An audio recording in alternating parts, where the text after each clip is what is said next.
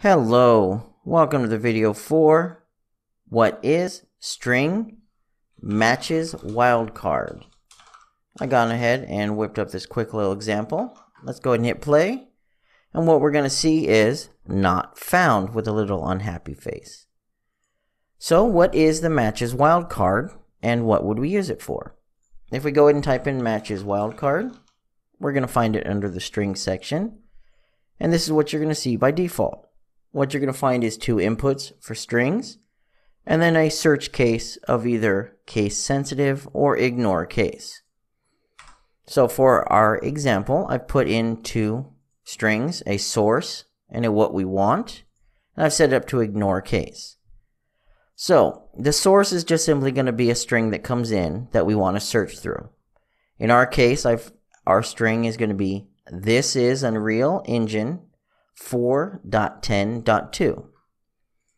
And what we want to do is the wildcard basically is what we're searching for, but you would also use the question mark and the asterisk to determine how you're searching for that string inside of your source string.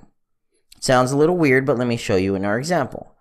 So our source has this is our this is Unreal Engine 4.10.2 with proper formatting, spaces, and everything between our words. And what we want to search for is Unreal Space Engine. So you'd think if I hit search, it would find it. Because Unreal Engine is what we want, and Unreal Engine is inside of our source. Well, that is not how the wildcard works. We actually have no wildcard characters inside of here so it doesn't actually know how it should be looking for it. So your wildcard characters are your question mark and your asterisk. The question mark basically replaces a single space or single character with anything. So for example, if I did Unreal Engine question mark, Basically, that means it could be Unreal Engine and then a space, or Unreal Engine and a number, or a character, or let anything in that area where the question mark is. If I put a asterisk, it'll be anything after those two words. Anything. It's not just an individual character, it's anything. So if we go ahead and run this again, we're going to find not found. Well, why is that? I told it to find Unreal Engine anything. Well, the problem is our sentence is this is Unreal Engine anything.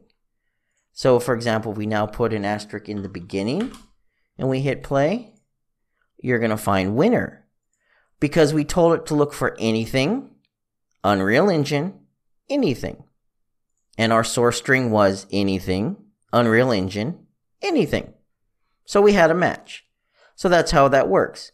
So in, for using our question marks, let's go ahead and let's say we want to make sure that for whatever reason, maybe this blueprint is only supposed to work on Unreal Engine 4.10. And if it doesn't, they try it in a newer version. We want to throw up just a little little alert. We want to say, hey, we haven't updated to 4.11 yet. So what we can do is we can do Unreal Engine, and then we could do, let's say, 4.10 dot star. And of course, this is going to fail because we have that in the middle of what we're looking for. So we're going to have an issue there. So if we do the asterisk 4.10 dot star and we hit play, it's going to be a winner. Now, if we change our source to 4.11, for example, let's say the next version comes out for whatever reason, we hit play. Now, of course, it's not found because it doesn't match. Now let's say we only want to key off of this number here, 4.11.2. Well, we can use our question mark. Let's go ahead and erase Unreal Engine. And let's say we only want to look for 4.11.2. Well, let's go with 4.11. anything. We'll look for any version of 4.11. We'll hit play. Course, not found because it's not part of the actual source itself. We have this is Unreal Engine before that. We'd have to do an exclamation point, the, the asterisk, sorry. And we hit play, and we're going to find winner. Because for anything, 4.11. one character matches our source of anything 4.11.2. But what if this was 22? What should happen? Well, it should fail, and it does, because 4.11.22 is different than 4.11.1 character. Remember, the question mark is one character. If we did question mark again, it's going to work because now it's looking for two characters. And the nice thing is you can actually have extra question marks in there. So if we did two more question marks and we hit play, we're going to find winner because this is going to be the end of our sentence and there is at least the two matching question marks. So a useful version of this is let's say you wanted to make sure something matches the same or the same formatting. It needs to be like maybe a number, character number, or something like that. And our source was, you know, something like um, Baker for Charlie, something like that. And we wanted to make sure we had a for somewhere in the middle of our sentence. Well, you could do the zero for, sorry, asterisk for asterisk, and it's going to find it because it finds a 4 surrounded by anything. So that is how our matches wildcard works. It's a good way of finding pieces inside of something else where you only have partial knowledge of what you're going to be searching for. You want, for example, let's say you're making a text adventure, like an old Zork game or something like that, and you want it to be text input. Maybe you want it where your player is told you're looking down a dark hallway and you see a lamp.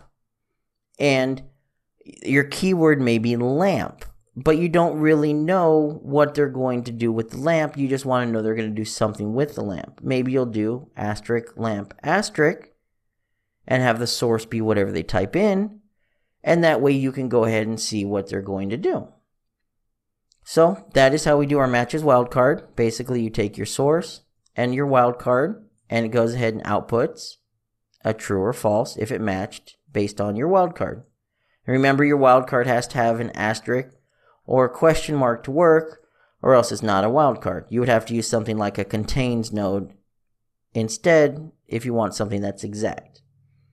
If you have any questions or comments, please feel free to leave them below.